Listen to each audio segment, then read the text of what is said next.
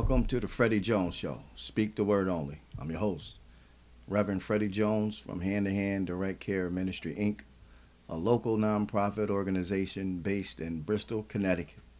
And it's my privilege and an honor to have this opportunity to preach and to teach the Word of God to the Nutmeg Television viewing audience. And with that being said, welcome to the show.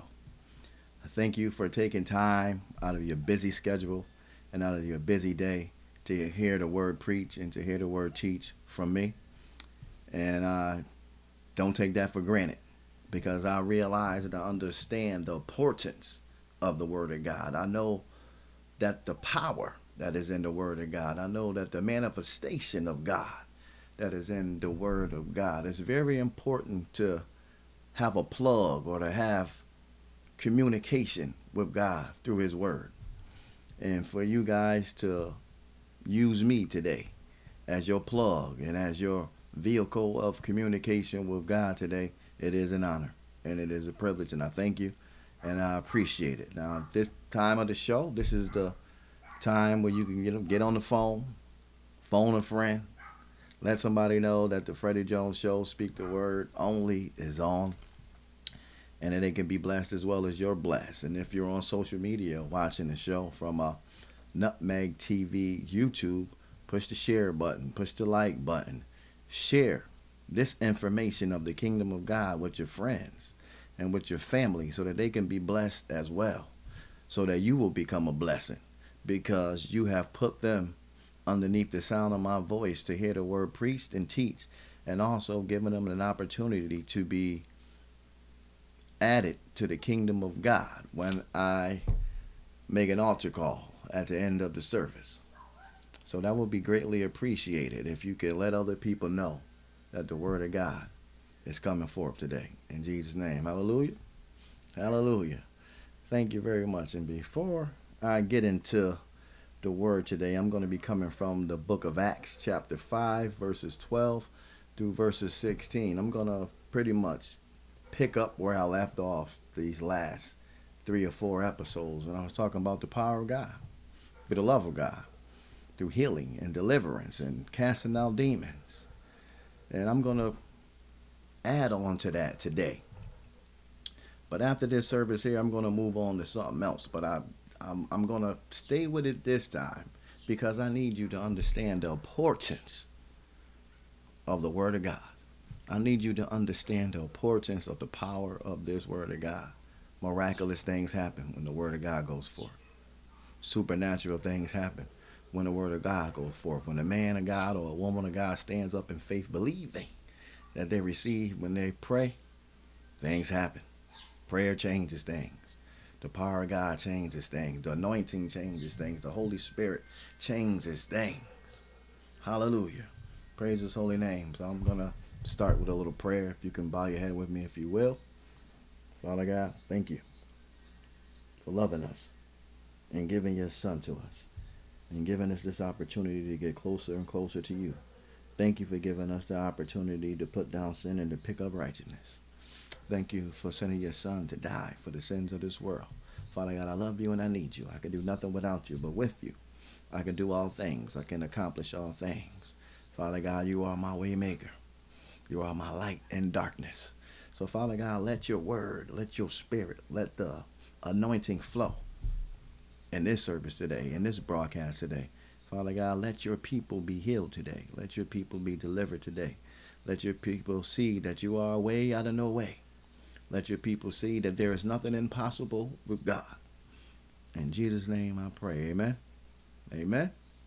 And amen one more time again. Well, like I said, I'm going to be coming from Acts chapter 5, verses 12 through 16.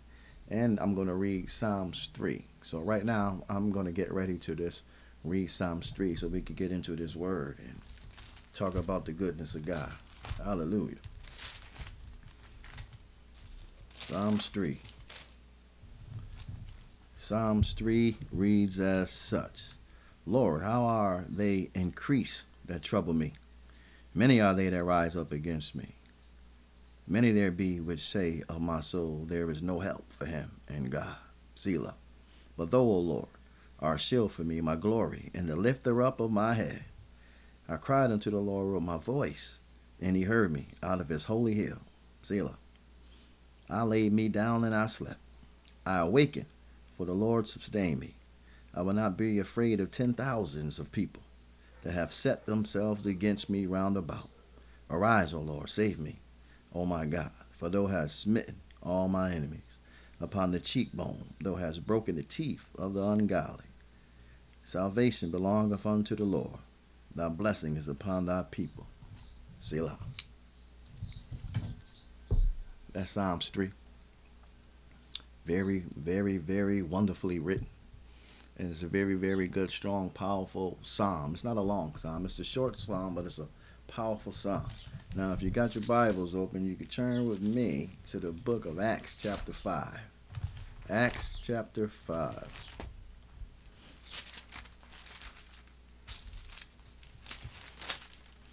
Acts chapter 5, verses 12 through 16 is where we're going to be coming from today. I'm going to wait for you now. I'm gonna wait for you to get there. You know, I know it may take a little bit of time for you to get there. I, I don't know how busy he is, but I'm gonna wait a minute for you. Hallelujah. And while I'm waiting for you, I'm going to just give him glory. I'm just going to lift his name up on high. I'm just going to praise him and worship him and magnify his name because he's worthy to be praised. Hallelujah. He's worthy to be praised. He's a way maker. He'll make a way out of no way. He'll take your feet out of the miry clay and he'll place your feet on solid ground. He will restart your life. He will give you a start all over. He will erase your past and prepare you for a wonderful future. Hallelujah. That's how good he is. He wants to help you. He wants to redeem you. He wants to save you. He wants you to have the ability to be successful. In Jesus' name. Hallelujah. Glory, glory, glory. Lord God Almighty. Thank you, Lord. Thank you, Lord. I said, thank you, Jesus. Thank you. Thank you. I got to give him thanks. I got to give him praise. Now, if you got it, you're in your Bibles. We're going to start Acts chapter 5, verse 12. Purging from without. Now, when the church first started, Apostle Paul was very, very powerful in the Word of God, and, uh, and and the other disciples were as well. But they were also very powerful, not just in the Word by speaking the Word. They was also very possible, pow, powerful by demonstration of the Word. You see, when they spoke things, it came to pass, just like Jesus did. And that's what Jesus said. He said that we will have power after that the Holy Ghost has come upon us. Now, if the Holy Ghost has come upon us and there's no power, there's a problem somewhere. There's a disconnect somewhere. Something is going wrong somewhere. Because God is not a man that he should lie, neither the Son of Man that he should have to repent. If God said, once the Holy Ghost comes upon you, it comes with power, I'm expecting to see that power reflected I'm expecting to experience that power. Hallelujah. Hallelujah. And in the church today, we are so used to preaching to other people that's already saved, trying to demonstrate the power of God to people that's already saved, that we're leaving the world behind. We're leaving the non believers behind. And that's why the church ain't growing. And that's why believers ain't being added to the church because we're not seeking them. We're not going after them. Jesus said, I'll leave the 99 for the one. He wants to get that one that's not righteous. He wants to get that one that's not in his right mind. He wants to for them to see who he is and that he is exactly who that he say that he is. He's the son of the living God. And what the early apostles did, they went to the non-believers in faith, believing that the word of God that was in their mouth was going to produce results. They went believing that if they laid their hands on the sick, the sick was going to recover. They went believing if they prayed for demons to, to disperse, that demons would disperse. And it began to happen. And the results of that happening is the Bible says that there were people added to the church daily. Because you could tell somebody that's saved, oh, just believe it by faith. You could tell somebody that's already a Christian, oh, oh, just believe it by faith. So and so, this happened, just believe it by faith. And they would just believe it by faith. But that don't work for non believers. You ain't gonna just tell a non believer, just believe it by faith.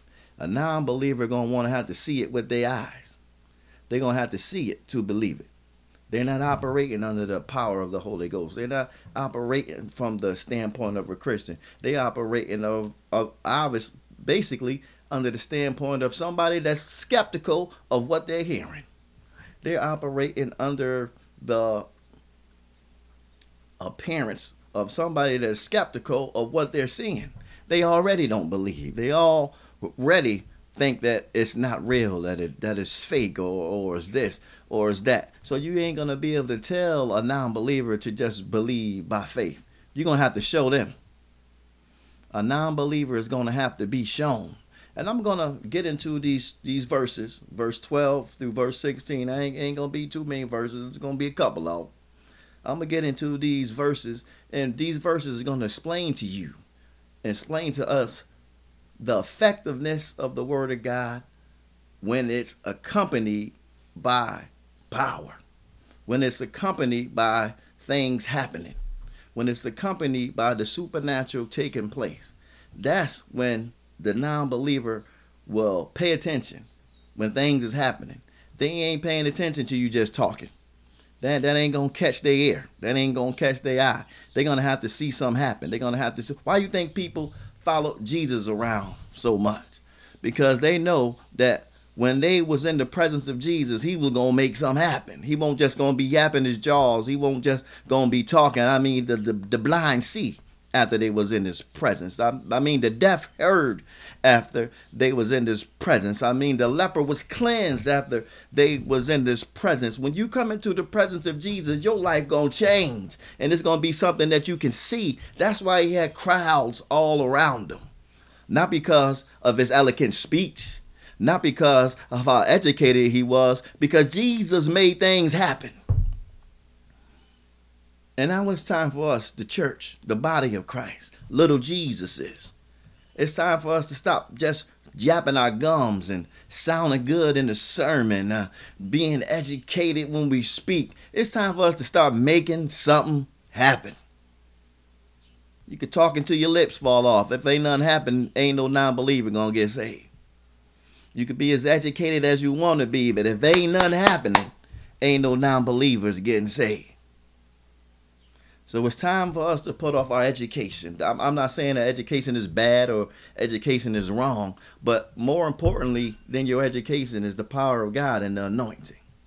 So it's time for us to start op- actually operating in the anointing and let God be true and let every man be a liar and stop trying to put the pressure on ourselves as if it's something that we have to do. No, no, no. Surrender yourself unto God and let him work through you. Let him talk through you and let the power of God manifest itself through you. So I'm going to get into these couple verses, verse 12 to verse 16, and we can we're going to see how the world responds when they see a man of God operating in faith and things are actually happening in their eyesight that they can see. See what non-believers say after that. See how non-believers respond after that. Hallelujah. Glory to God. Verse 12, Acts chapter 5. And by the hands of the apostles were many signs and wonders wrought among the people. And they were all with one accord in Solomon's porch. All right, verse 12 says, By the hands of the apostles were many signs and wonders wrought among the people. So the people saw signs and wonders happen the people saw signs and wonders happening from Paul, from Peter, from John, and from the other disciples. And this is catching their the attention. Now, now they seeing all these things happening, and now they're being able to catch the attention of the people. Verse 13. And of the rest doeth no man join himself to them, but the people magnify them. I'm going to read verse 13 one more time. And of the rest doeth no man join himself to them, but the people magnify them.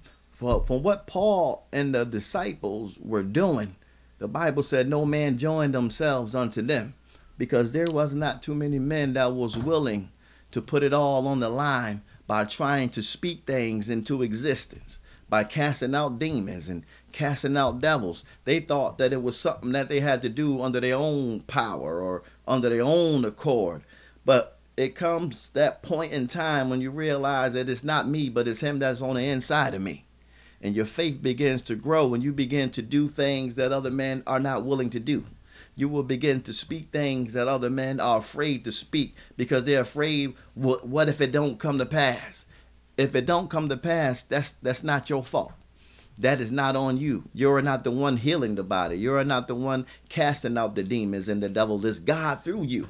So when you become so full of yourself, thinking it's something that you're doing, you will be most likely inclined not to try to speak that way just in case it don't happen.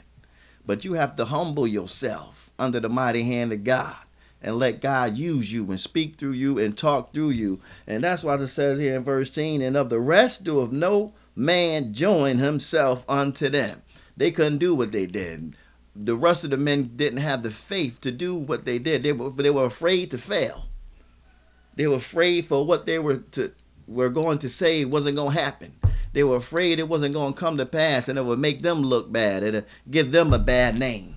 You see, when you get in a position when you're more concerned about your name, when you're more concerned about something making you look bad, God can't use you as efficiently and as effectively as He is willing to. You're, you're pretty much you're holding your own self back. Verse 14. And believers were the more added to the Lord, multitudes, both of men and women. So when people begin to see these things take place by the disciples, I mean the church just begin to just grow. Believers are just coming into the church by groves because of what they see what they eye. Not because of what they hear, but because of what they see. You're going to save non believers by what they see. It ain't going to be too much about what they hear. Verse 14, one more time. And believers were the more added to the Lord multitudes, both men and women. Verse 15, insomuch that they brought forth the sick into the streets and laid them on beds and couches, that at the least the shadow of Peter passing by might overshadow some of them. When they know that you are for real, when they know that you the real deal, when they know that you are who you say that you are, that's when you catch the attentions of people that don't believe. And the Bible says that when they realized that Peter was the real deal, and Paul was the real deal, and the rest of these disciples were the real deal, they had family members that were sick. They had people that were going through things. They didn't wait any longer. They began to just put them on the couch and put them wherever they had to do to get them into the presence of these disciples because they knew that if they could get their family members in the presence of these disciples, things were going to change. The same way, the same way that it was with Jesus. They knew if they could get their sick in the presence of Jesus, their life was going to change. They knew if they could get the demon possessed in the presence of Jesus, their life was going to change. So that's what the people are doing right here. They seeing that that same power, that same anointing, that same love, that was on Jesus is on Peter and it's on the rest of the disciples because they humbled themselves enough to know that it ain't me, it's him that is on the inside of me. And when you let that which is on the inside of you overcome you, you will be able to do the impossible. You will be able to do the supernatural. You will be able to do the things that Jesus has done. And these non-believers are beginning to take notice. Hallelujah. Verse 16. There came also a multitude out of the cities round about unto Jerusalem, bringing sick folks, and them which were vexed with unclean spirits. And guess what? And they were all healed, every single one of them. The Bible says everyone that was brought to the apostles was healed. everyone that came to the apostle that had demonic spirits in them, the spirits was cast out. What I'm saying to you right now today is, is you ready to let God take you to another level of understanding? Is you ready to break out of the box of religion? Is you ready to break out of the box of denominationalism? This denomination believes in healing and deliverances. This denomination don't believe in healing and deliverances.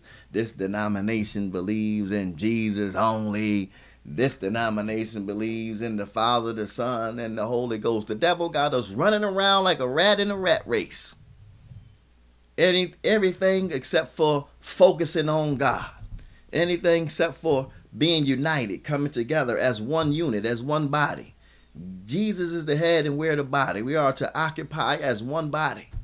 As long as we're divided, as long as we're bickering and arguing once amongst each other, we're never going to be able to do the thing that we are capable of doing through the power of God because we're too busy. We got too much things going on and we're fighting amongst ourselves instead of realizing that the devil is our op. That's what the op is, the devil. Your op is not somebody from another denomination. Your op is not a soul that's lost. Your op is the devil. And once we get that into our mindset, then we understand that fully, then we can operate and walk in the full power that is granted unto us. In Jesus' name. Hallelujah. Hallelujah. All right, at this time of the show, I would like to say thank you for listening. Thank you for giving me the opportunity to come into your home, into your living rooms, and into your life. To just open up your eyes and open up your spirit to let you realize and see that all things is possible to him that believe. And with God on your side, you can accomplish every feat, every obstacle, everything that you have going on in your life. Hallelujah. And right now, I want to talk to that person that didn't give his life over to the Lord. That person is struggling. You're looking for an answer. You're looking for a way out. You're trying to you you re- realize that there's there's more to life. I want to let you know right now that if you surrender your life to Jesus Christ, your life will change forever for the better because of the love that Jesus Christ has for you.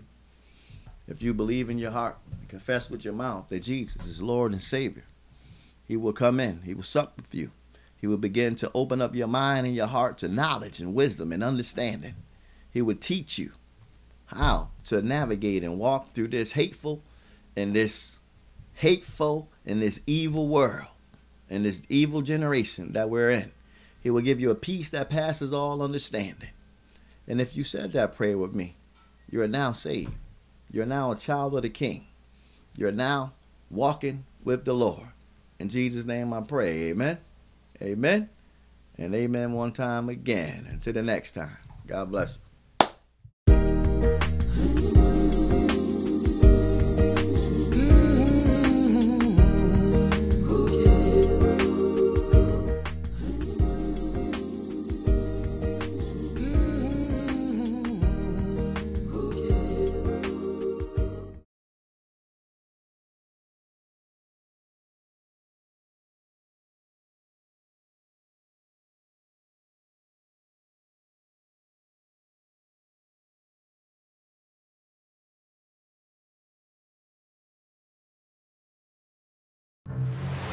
Water's warm at Jaws Pond, and we're stocked full of treasures. Big or small, we buy it all. We buy and sell fast rides, power tools, vintage guitars, and so much more. Walk the plank in style with our fine jewelry, diamonds, and watches. Plus, we have a huge selection of the latest video games, including the new PlayStation 5 and Xbox Series X. Jaws Pond, conveniently located on Meriden Waterbury Turnpike in Southington and West Main Street in New Britain.